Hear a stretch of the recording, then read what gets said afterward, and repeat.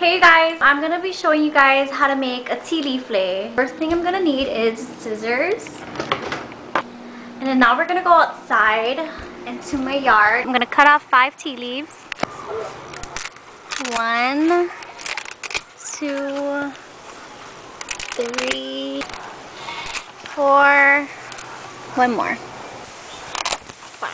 So now we're in my kitchen. Um, normally you'd have to wash them, but it just rained earlier and the teas actually feel pretty clean. So I'm gonna skip rinsing them off.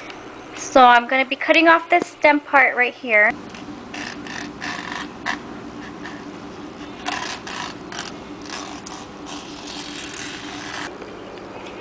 Okay, so I cut all the ti leaves, so now I just have the leaf. The stems are right here. I just put some water in the pot get it really hot. I'm just going to put it on high. Let that heat up. So I got a towel. I'm going to go back into the kitchen. Grab my thong and put the ti leaves in. So I have my ti leaves in the pot. I just heated them in the water for about two minutes until they were soft. You can tell when it's soft because when you bend it, it won't be making cracking noises. And it won't break apart. See how soft it is now to start your lei, you want to take two leaves, twisting the top already too, so it holds better. So I twisted the top like that, and I'm just going to clip it to the hanger. And then we're going to start just twisting around like this. And my right hand is going to go over to my left. So twist, over, twist, over. Basically the right side is going over to the left. And you just do that. And you just twist until you get to the end point and I'm going to just show you guys how to connect it in a bit. Okay, so this piece is getting really small. Now I need to add another piece because I'm running out of line dry the leaf a little bit better. And when you do the connecting side, you want to try to pick the side that's a little bit more nicer. So I'm going to pick this side because this side is more green than this end. This end has a little bit brown going on.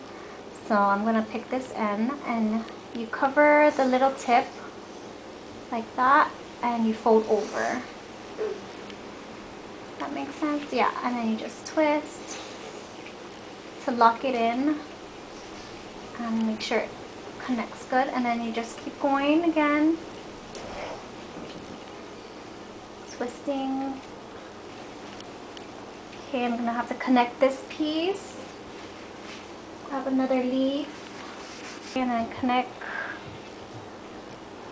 Put it over wrap it in twist. Get it locked in good